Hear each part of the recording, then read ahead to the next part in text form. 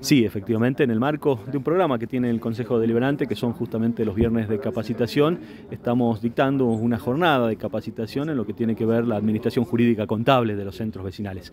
Yo quiero agradecer particularmente a Fiscalía de Estado, al fiscal, al doctor Mariano Miranda, a todo su equipo, al doctor Sergio Vidaurre, a la doctora Chara por, por estar acá en el Consejo Deliberante. La verdad que una gran convocatoria, hay eh, más de 100 vecinalistas que se han convocado, pedirles que aprovechen la jornada, que consulten, que se saquen las dudas, porque uno de los planteos que normalmente se da en la regularización de los centros vecinales tiene que ver con las problemáticas jurídicas y las problemáticas contables. Así que en ese sentido, intensificar la capacitación, brindarle las herramientas para que tengamos más centros vecinales constituidos, más centros vecinales funcionando con regularidad y podamos seguir difundiendo la participación vecinal en cada uno de los sectores de nuestra ciudad.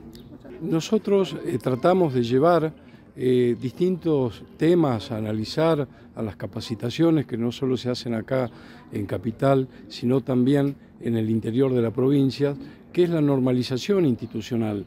Eh, muchas veces las instituciones, los centros vecinales por sobre todo, no tienen recursos para contratar abogados, contadores. Nosotros brindamos un apoyo para que la convocatoria a una asamblea para aprobación de estados contables, para renovación de autoridades sea correcta, sea legal, se haga de conformidad con la normativa vigente. Eh, digo esto por cuanto eh, lo más importante eh, que tienen los vecinos es poder conformarse y organizarse de una manera tal que puedan ser reconocidos por el Estado. Creo que el acto, la manifestación de voluntad por excelencia de los vecinos es la asamblea de asociados. Y es ahí en donde hemos detectado el principal conflicto de los centros vecinales. Eh, no solo la asamblea en sí, sino la conformación de los padrones de asociados.